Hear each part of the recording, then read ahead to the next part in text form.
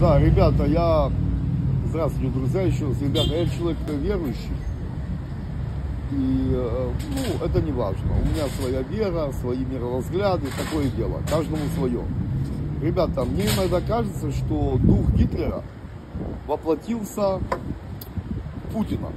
Почему у меня такое впечатление? Потому что бункер, Гитлер еще до ядерного оружия, у него уже бункер был, не так говорили, бункер Гитлера, он прятался. И вдруг у Путина тоже бункер построил. Он его строил до, э, до спецоперации. То есть, что-то какая-то связь. Ни один президент бункеры не строил, кроме Гитлера и Путина. Я думаю, может быть, э, стоит вызвать тех, кто бесов изгоняет, изгнать этого Гитлера от Путина. Давайте в старые времена говорили, чтобы человеком ходил какой-то дух нечистый. Может быть, в этом ситуации тут есть. И в таком случае, если у нас Путин это Гитлер, который бункер, если это правда, то получается, что Лукашенко это Муссолини. Надо подумать насчет этого. Спасибо, друзья.